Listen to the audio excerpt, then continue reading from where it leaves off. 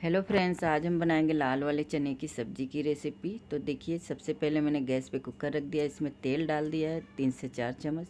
तेल अच्छे से गर्म हो जाए तो इसमें हम डाल देंगे कुछ खड़े मसाले। देखिए, खड़े मसाले में जीरा, तेज़पात, दालचीनी, इलायची, लौंग, सूखी लाल मिर्च, हींग डाल देंगे और इन्हें अच्छे से चटक जाने देंगे। फिर इसमें हम डाल देंगे दो प्याज स्लाइस में कटे हुए। इन्हें भी हल्का सा हमें ट्रांसपेरेंट होने तक ही भुनना इससे ज़्यादा नहीं, हमें ब्राउन करना है। फिर इसमें डाल देंगे अदरक और लहसुन का दरदरी कुटी हुई पेस्ट और इसे भी अच्छे से भून लेंगे।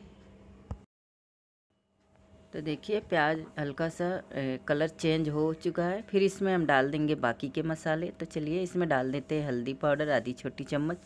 एक चम्मच डाल देंगे लाल मिर्च पाउडर। एक चम्मच डाल देंगे धनिया पाउडर। बारीक कटे दो टमाटर डाल देंगे और स्लाइस में कटे हरी मिर्च डाल देंगे दो। फिर इसमें डाल दें नमक स्वाद अनुसार। तो मसाले अच्छे से मिक्स कर लेंगे और इसे हमें अच्छे से भून लेना है। जब तक कि मसाले से अच्छे से ऑयल ना छोड़ दे साइड से तब तक हमें मसाले भून लेना है। तो देखिए मैंने अच्छे से मिक्स कर लिया है। और इसे हम ढक के पकाएँगे।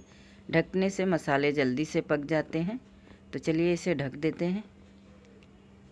तो चेक कर लेते हैं। तो देखिए मसालों से तेल छोड़ दिया है। फिर इसमें हम डाल देंगे कसूरी मेथी और इसे भी मिक्स कर लेंगे। तो देखिए अच्छे से मिक्स कर लिया है। फिर इसमें हम डाल देंगे भिगोया हुआ चना और आलू। तो देखिए इसमें डाल दिया है चना आलू। फिर इससे भी हमें मसालों के साथ भून लेना है।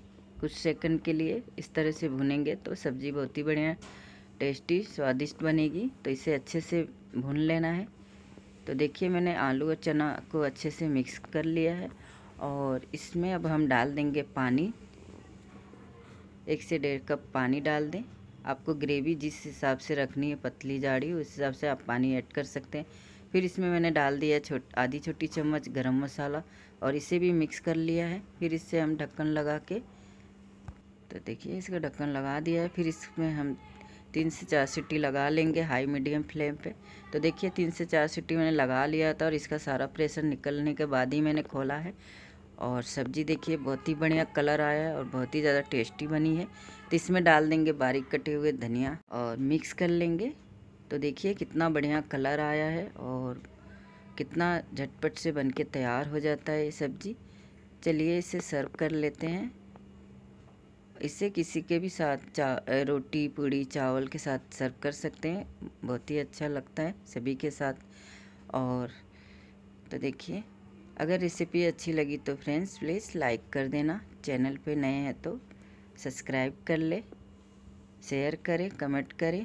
फिर मिलेंगे अगले रेसिपी के साथ। तब तक के लिए बाय